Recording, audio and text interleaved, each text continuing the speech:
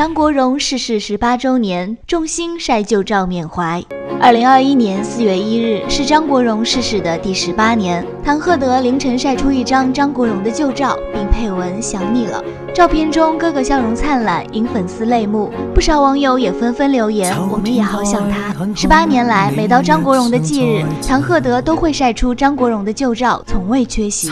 除了唐鹤德以外，张国荣的忠实粉丝尹正也卡点发文。他没有说任何话，只是发了一个向日葵的表情，一切思念都尽在不言中了。宁静发文怀念第十八年，当我见到天上星星，我还会想起你。两人曾于一九九六年合作电影《行上海滩》，舒淇则转发了悼念哥哥的视频，并配文一个念字。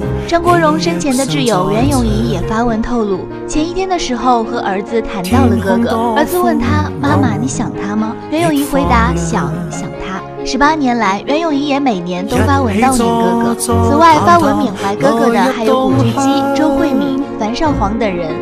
迷谷娱乐整理报道。